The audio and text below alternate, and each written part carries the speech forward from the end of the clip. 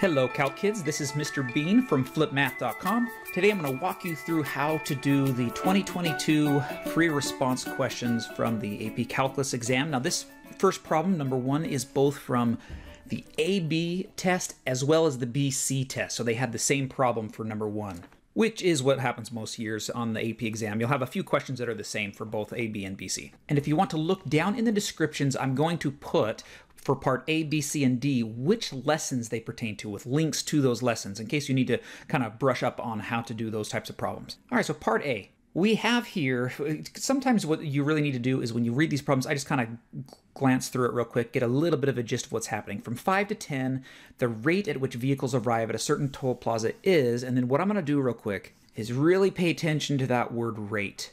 That is an important word right there because what's that what that's telling me is this is already a rate of change. So t is the number of hours after 5 a.m. A of t is measured in vehicles per hour, so it's important for me to get my units correct. Traffic is flow flowing smoothly at 5 a.m. with no vehicles waiting in line. All right, so we're going to write, but not evaluate, so that's nice. It's going to speed things up. Do not evaluate. An integral expression that gives the total number of vehicles that arrive at the toll plaza from 6 to 10. Uh, we can probably assume here that the the rate is always positive. So sometimes students get thrown off with this word total and they think, oh, I've got to do the absolute value. You could, but if we graph this, you're going to see that it's always going to be positive, the rate, at least I should say always from t equals zero from t equals 0 to t equals 5, the graph is going to be positive. Now, we're only focused on from 1 to 5. So the way we do that is we just go for, the integral from 1 to 5, so that's 6 a.m. to 5 a.m. And then instead of writing out this whole thing, which you could do, but let's save ourselves some time, we can just say a of t with respect to t. And that is the answer. I don't have the scoring guide to tell me exactly how many points this would be. My guess would be this is one or two points, and that's it. Uh, so, because I'm making this before the scoring guides were released. Uh, but if you wanted to see how to do more of those, you could look at lesson 8.3 for the calculus lessons on accumulation functions and how to deal with those in context. And just look at the video description down below underneath the video, and you'll be able to see some links to these lessons. So that's for part A. Part B, now we're going to look at the average value. So I see this keyword here, this key phrase average value, and we're looking for the average value of the rate. This is already the rate. And so what we're looking for is the average value of A of t on a specific interval. So how do we do that? This is where we do the integral from, we're going to do from 1 to 5 again, of A of t with respect to t so it's just like the last one, except for because we're doing average value, this is where you have the 1 over b minus a, which is 1 fourth, or 5 minus 1. So that's the, remember that, that's b, I should write it up here, 1 over b minus a. That's what goes in front of the integral. That's what this is right here. Now we want to figure out the answer to this. And so we're going to grab our calculator, and what I like to do in the calculator is I plug in what a of t is. I just plug it into the y equals line. I know you might have different calculators, so you just have to play around with your own calculator to figure out how to do this. And so I'm going to take the integral by doing math 9 on my TI-84. In fact, before that, let's because sometimes I make that mistake, I'm going to start off with 1 divided by 4. 1 divided by 4.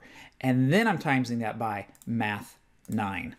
Okay, and the reason I do that, because sometimes I, I end up forgetting to divide by 4 at the very end of that, so it's good if you just set that up right away. So let me just plug this in real quick. And where is this? I plug this into y1. So for on my calculator, I'm going to hit the variables button, go over to my y variables. First one is function number 1, y1. So there's my y1 with respect to x. And of course, I could, instead of doing y1, I could just plug in this entire thing here, 450 times sine of 0.62t. But it's nice if you know some of the shortcuts on your calculator to speed that process up. Oh, some of you were yelling at me through the computer. That's supposed to be a 5. I said 1 to 2, sorry, from 1 to 5. And then we hit enter and we get 375.563. Let me bring this over here. So we can either truncate it or round it.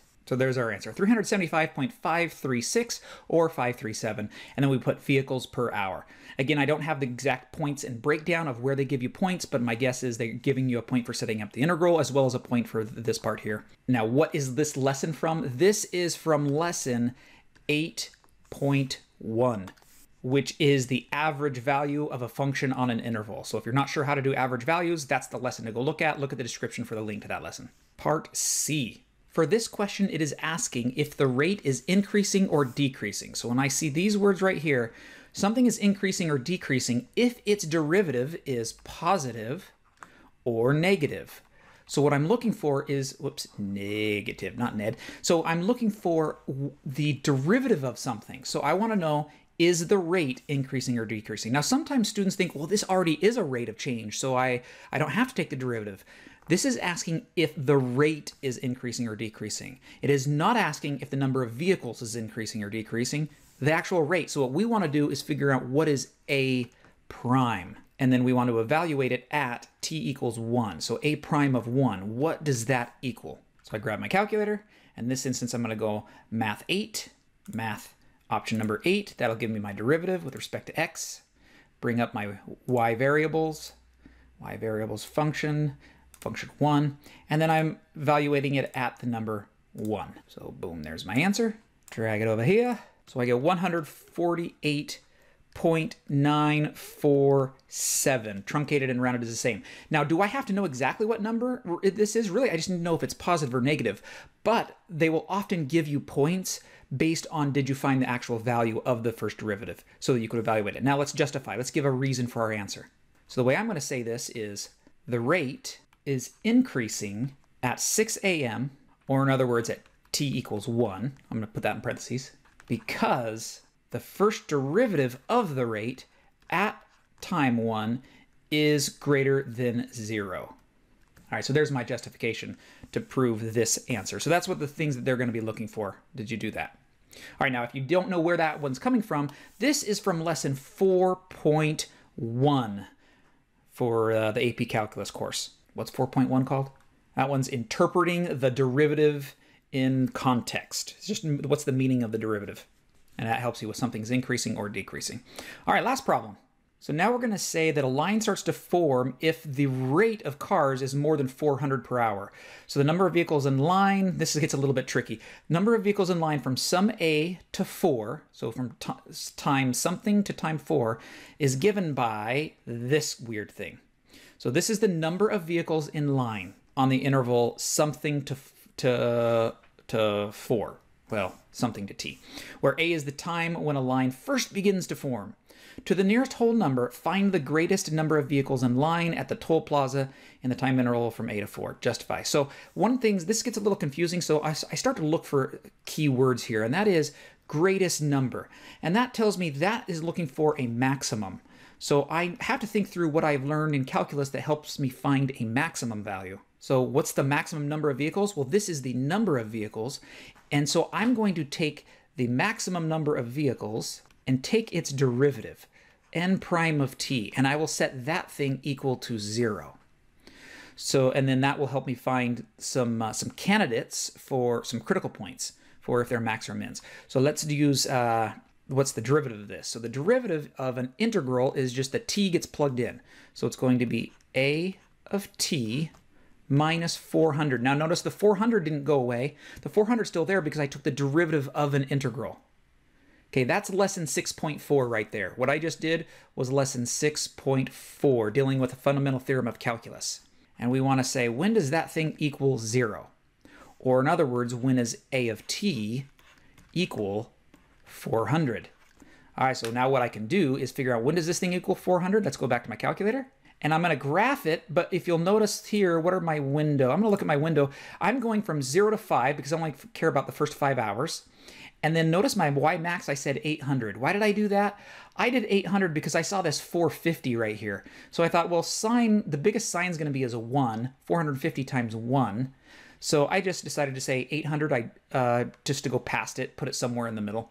And then I graph it, and there's my curve for the, the rate at which the cars are changing. Now I'm going to graph y equals 400, and there we go. So what I want to do is figure out when did these two things equal each other.